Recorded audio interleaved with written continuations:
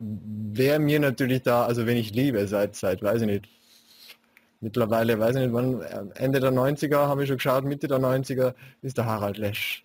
Ja, da, damals hat ihn kein Schwein gekannt, da war er um 3 Uhr früh auf Bayern Alpha damals noch, oder das hat ja, der ist ja noch lange nicht in irgendeinem öffentlichen großen äh, Ersten gewesen. Und da habe ich ihn schon geliebt und habe in den Nächten zugeschaut, wie er da erklärt hat, das, das eine oder andere Wurmloch, das sich da wieder, als ich es damals und heute auch noch Star Trek-Fan habe, natürlich mich darauf dann schon einlassen wollen, das einmal zu verstehen, was da abgeht in der Physik. Ja? Ja, es ist lustig, dass du äh, den ansprichst, ähm, weil wir seit ähm, ein bisschen mehr als einem halben Jahr einen YouTube-Kanal mit ihm gestartet haben. Ähm, hey, geil. Also ich habe eine kleine Firma, die heißt Objektiv Media und ähm, äh, das ZDF kam da auf mich zu und wir haben überlegt, was könnte man denn ähm, machen. Es ging rund um die Marke Terra X und wie könnte man äh, Terra. X auch bei YouTube ähm, präsentieren und dann haben wir direkt gesagt, Harald Lesch ist einfach jemand, der funktioniert auch bei YouTube. Auch wenn er nicht das typische Alter von einem YouTuber hat, aber er hat einfach eine hohe Glaubwürdigkeit, er ist ein unglaubliches Wissen, er hat eine gute Präsenz, wie du auch sagst und man hört ihn. Er ist grandios. Genau, und dann haben wir einen Kanal mit ihm gestartet und der läuft bisher auch ganz gut. Äh, und das macht einfach super Spaß, äh, da äh, was auszuprobieren. Und ähm, ich glaube auch, dass das so die Richtung ist. Also ich finde es auch blöd, einfach nur zu meckern und nicht zu machen. Ich habe mich vorhin beschwert, dass Wissenschaftsvermittlung äh, bei uns oft noch so ein bisschen äh, schwerfällig ist. Äh, und da hatte ich die Möglichkeit, äh, auch mal aktiv einzugreifen und selber was zu entwickeln ähm, mit den Kollegen zusammen. Und da bin ich auch wirklich ein bisschen stolz drauf, weil äh, die Ergebnisse finde ich eigentlich ganz cool, ohne uns jetzt zu sehr loben zu wollen. Aber können Sie ja selber mal schauen. Äh, Terra X Lash und Co. heißt der Kanal bei YouTube. Halt einfach mal die selber ein Bild machen. Ähm, ja, Lash und Co. war ja mal mit dem Fossenkuhl zusammen, mit dem, mit dem Philosophen. Ja, genau. Wo genau, sie dann miteinander beim Italiener gesessen sind und immer gespeist haben und über Themen wie äh, Bildung oder, oder, oder, oder auch warum leben wir, was ist der Lebenssinn und solche Dinge philosophiert haben. Bei genau. ihrem äh, Rotwein und ihrem äh, wunderherrlichen äh, italienischen Speisen, ja. ja, das habe ich lustigerweise erst, äh, also ich bin ein bisschen zu jung, um das noch selber Fernsehen gesehen zu haben, aber ich habe es dann nachdem... Echt, wie alt bist du, Freund? Äh, äh, ja, das war doch irgendwann in den 90ern, Ende der 90er, oder? Ähm, ja, aber da habe ich schon ferngeschaut. Da hat schon Fernsehen Ja, ja ich, äh, ich auch, aber äh, eher noch andere Sachen, die Sendung mit der Maus oder sowas. Ähm, und, der ähm, war noch davor, der Armin Maywald, das ist klar. Ja, und äh, habe ich dann aber erst jetzt danach eben gesehen, als ich äh, geguckt habe, äh, gab es den Namen eigentlich schon, habe ich gesehen, ah ja, Lesch und Co. gab schon mal und habe mir da so ein paar Sachen angeschaut und fand das auch cool, das recht, ja. Also es war einfach so eine lockere Atmosphäre und eigentlich schon sehr so geil. visionär. So geil. Ja. Also ich habe mir die jetzt wieder mal angeschaut, vor zwei, drei Wochen einmal, weil da war es ja ganze Nacht, glaube ich.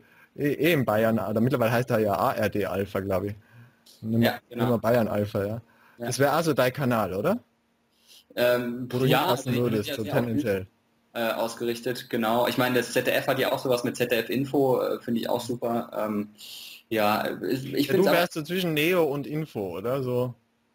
Äh, irgendwo dazwischen, genau, wobei ich mich im MDR auch wohlfühle äh, mit der Sendung. Ja, ja, ja, ja, toller Sender. Also das ist, ist der, aber das ist in Leipzig oder wo sitzt der? Äh, in Leipzig, in Halle, ähm, ein, ja, also man, die sagen immer Mitteldeutschland, äh, ich finde den Begriff ein bisschen irreführend, weil Mitteldeutschland, da verstehe ich eher Frankfurt, Hannover. So also ich weiß dass der Wolfgang Lippert da immer zu Hause war, ja? Ja, genau, unter ja. anderem der und viele andere. Ähm, Zudem haben wir einen Connex, den habe ich ja mal bei Wetten Das getroffen. Ah. Tatsächlich, der war mal in Innsbruck mit Wetten Das, bei einer seiner wenigen Wetten Das-Sendungen. Ah, okay. Ja. Was, äh, warst du da als Gast bei Wetten Das oder als Zuschauer? Oder? Also, natürlich war ich als Gast. Ja, so. kann ja sein. Ich weiß nicht, 10, 15 Jahre oder so. Nein, ja, nein, der war Zuschauer. Aber er war total sympathischer oder ist er total sympathischer und hat mal ganz liebe Autogramm gegeben und Foto gemacht und weiß ich was. Ja. Ah ja, okay, cool. Ja, also ich finde ähm, ich, ich finde es ehrlich gesagt auch gar nicht so wichtig, ähm, auf welcher Plattform man jetzt stattfindet. Äh, wichtig ja, ist. Ja, schon. Also wenn du jetzt irgendwo irgendwo äh, in, nur innerhalb einer kleinen äh, Schule stattfinden würdest, dann würden wir jetzt nicht sprechen. Ja, natürlich Reichweite ist schon schön, aber wichtiger finde ich ist eben der Inhalt und ähm, no question dann, about it, ja, ja klar. Genau und wenn wenn es dann noch von vielen Leuten angeguckt wird, umso besser. Klar, man macht, man gibt, also man freut sich natürlich auch, wenn man sich Mühe gibt und dann wird es auch honoriert im Sinne von Klicks. Also das wäre auch gelogen, wenn ich sage, ich freue mich nicht drüber, wenn mein Video viele Klicks hat. Und ich finde es auch ein bisschen ja, lächerlich, wenn manche Leute damit kokettieren und sagen, es ist mir egal, ob Leute das anschauen, ich mache das, was ich wichtig finde und so. Das also kann mir keiner. Die gibt's schon, das glaube ich Ihnen. Ja, ich weiß nicht. Aber, aber ich bin auch nicht so. Ich freue mich schon, wenn dann, wenn dann Rückmeldungen kommen, wenn ich dann sehe, oh, 20.000 Menschen.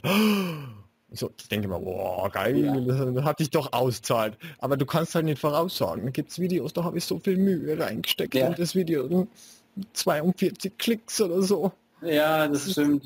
Es sind oft auch die Sachen, bei denen du dir am meisten Mühe gegeben hast, so viel Herzblut reingesteckt. Das schauen dann gerade wenig Leute an. Und bei anderen Sachen, ja, also ich hatte auch schon die Fälle, wo ich mich irgendwie mit dem Handy äh, irgendwo im Hotelzimmer kurz gedreht habe und meine Meinung zu dem Thema, was gerade aktuell war, gesagt habe, weil viele das wollten. Zum Beispiel hier diese Böhmermann-Erdogan-Sache, habe ich im Urlaub schnell was gedreht hat vielleicht alles in allem eine Stunde gedauert oder eineinhalb Stunden und das hat dann halt 300.000 Klicks und ein anderes Video, an dem ich irgendwie drei, vier Tage saß oder noch länger, hat nicht mal 100.000 Klicks, wobei das auch viel ist, ja, also meckern noch. Wollte ich gerade sagen, da würde ich jetzt nicht die Beschwerdekeule rausholen wollen. Ja? ja? aber nur der Vergleich ist dann halt immer, da denkt man sich, Mensch, äh, da steckt so viel Arbeit drin und beim anderen irgendwie äh, nicht. Aber. Ja, das, das hat sich sowieso entkoppelt.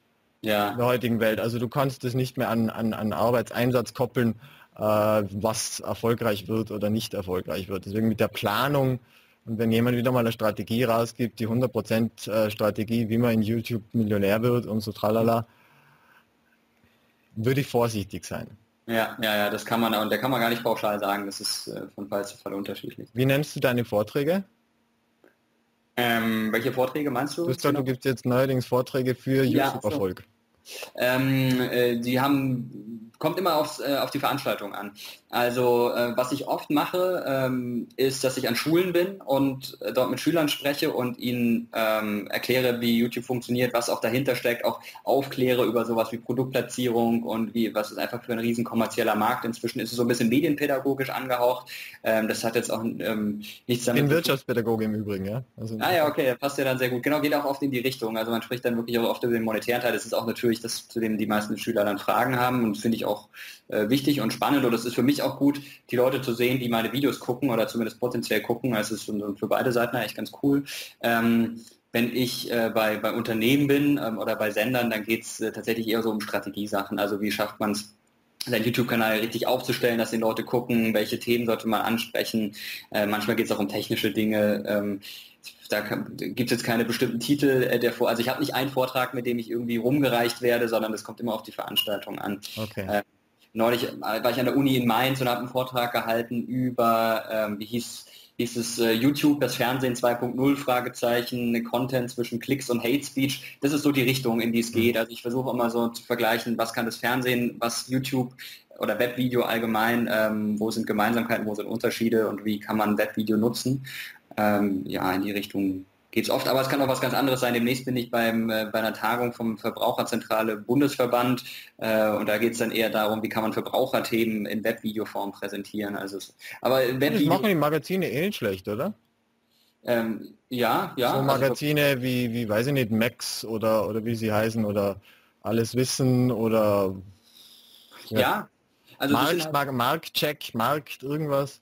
Genau, also sobald, und das finde ich ist generell, das ist so ein allgemeiner Tipp, den man auf den Weg geben kann, wenn man, wenn es um Businessvermittlung äh, im Netz und in Webvideos geht, ist ähm, so nah wie möglich in einer Lebenswelt der, der Zuschauer äh, sich bewegen. Und man kann ja fast jedes Thema so aufbereiten, dass es passt. Selbst das Thema Rente kann man für junge Menschen so präsentieren, dass, ähm, dass es zu ihrer Lebenswelt passt. Und da sind Verbraucherthemen natürlich super. Also ich habe so eine kleine Reihe, die heißt ganz ähm, ja, äh, wie soll man sagen, populistisch äh, die Wahrheit über und äh, dann halt ja, immer... Ja, das habe ich glaube ich als erstes einmal gesehen gehabt von dir, so Primark und... und genau, McDonalds, und, Apple. Ja, ja, all diese bösen vermeintlichen Weltkonzerne, Nestlé, die die Welt versa versauern und Monsanto und...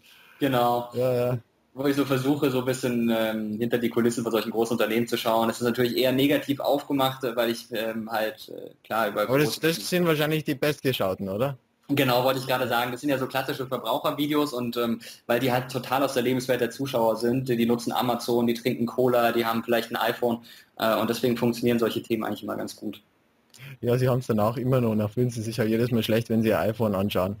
Ja, ich meine, ich habe auch ein iPhone ja, und habe hier ein Apple-PC. Äh, man muss natürlich dann auch äh, differenzieren. Klar, das habe ich in dem Apple-Video auch gesagt. Ich habe das selbst und ich finde es technisch einfach für mich gut, aber ja, man sollte das immer wissen und leider muss man ja sagen, die anderen sind in der Regel auch nicht besser. Was, äh, ist häufig leider der Fall, muss man, muss, muss man zugeben, ja. ja.